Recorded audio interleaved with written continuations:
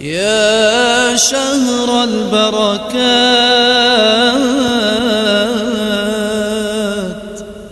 يا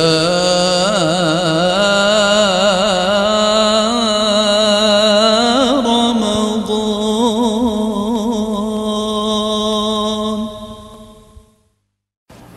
السلام عليكم ورحمة الله وبركاته. بہت ہی خوبصورت روایت بہت ہی آسان عمل ہے۔ اس کو عمل کریں، اس پر عمل کریں اور جنت میں محل بنائیں۔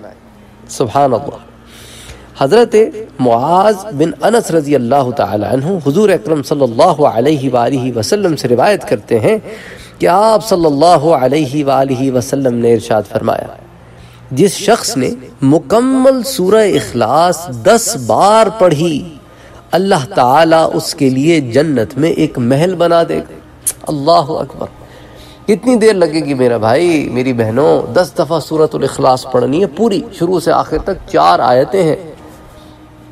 مشکل سے تمہارے دو تین منٹ بھی نہیں لگنے، اور جنت میں محل بنا ہے اچھا لوگ پھر یہ بھی سوال کرتے ہیں کہ کس وقت پڑھیں؟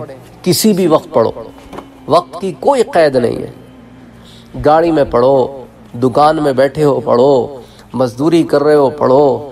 مسجد میں نماز کے بعد بیٹھے ہو، ذکر کر رہے ہو، پڑھو تاجد میں پڑھو، کھانا بناتے ہوئے پڑھو، جب مرضی چاہے پڑھو، پاک جگہ پڑھو، کسی اچھی جگہ پڑھو۔ اچھا آگے روایت آتی ہے۔ حضرت عمر بن خطاب رضی اللہ تعالی عنہ نے عرض کیا کہ یا رسول اللہ صلی اللہ علیہ وآلہ وسلم یعنی تعجب سے کہ تو بڑا آسان عمل ہے، دو تین منٹ میں جنت میں محل بناؤ۔ تو کہنے لگے، پھر یا رسول اللہ صلی اللہ علیہ وسلم، پھر تو ہم بہت سے محل بنا لیں گے۔ ہم تو بہت سے محل بنا لیں گے۔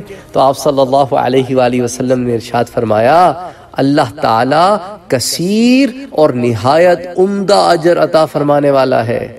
اللہ اکبر۔ تم مناتے رہو، اس کی جنت میں کمی کوئی نہیں ہے۔ تم مناتے رہو۔ تم بناتے رہو، اس کی جنت بہت وسیع ہے۔